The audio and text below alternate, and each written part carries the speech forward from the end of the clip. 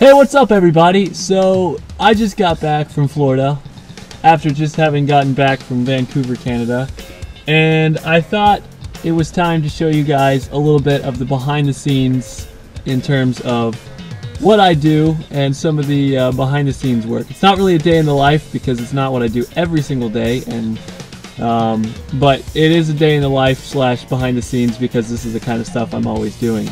Um, so basically, I got back from Vancouver with uh, at Drumeo, and I had about two hours to load up my stuff, wash my clothes, get packed again, and then basically head out for Florida. And so then I was in Florida for the pretty much the past week. Uh, I shot some videos with Emil and Dariel and Anna uh, Santina, the bassist, who you've seen in some of my other videos. So had a lot of fun there. But I just got home from Florida, uh, six-hour drive from my mom's house. I stopped by there, and about nine hours overall. And I had my car loaded up like you see now. And so I'm about to unload my car in order to set up a drum set in my studio to record some videos on, switch out two drum sets, load up another drum set in here, and set up all my recording gear and lighting gear and backdrop and everything that I took down to Florida. So here's a little look at how busy it can be being a gigging drummer who also makes YouTube videos does video shoots and all that fun stuff. So let's go.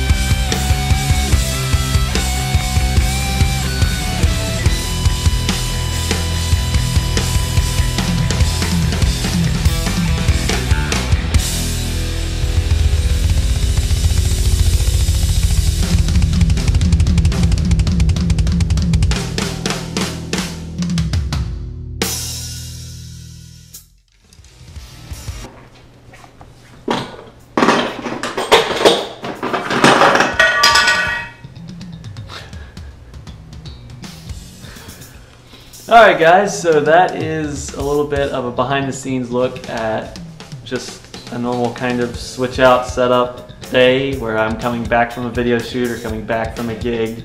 I gotta load in a drum set, I gotta clean up the room, I gotta change out the kits, I gotta set lights back up, I gotta set everything back up. Um, today has been pretty long. I don't know if I look tired, but I am very tired because I started at 4 a.m. this morning. That's time I woke up and drove back this way so I could get started on this weekend of stuff. Um, today's Friday, and I've got Saturday and Sunday, and then I leave on Monday bright and early for a camp in Kentucky. And so for these few days, I have to um, learn 12 songs. I had to get that kit set back up, record something, edit it, um, record and edit, well, not record, but edit a lot of other videos, um, and also uh, clean this stuff up and, and, do a few other things and church and uh, try and spend some time with some family before I'm gone again. So it's it's been a uh, it's been a long couple of weeks, and uh, it's going to be a, a, long, busy weekend, and then a, uh, hopefully a fun four days at the camp. It's going to be way out in like the, almost the wilderness or something, so it, it should be interesting. Uh, definitely bringing my cameras along for that. Um, if you can tell, I'm not even done yet. There's still stuff everywhere.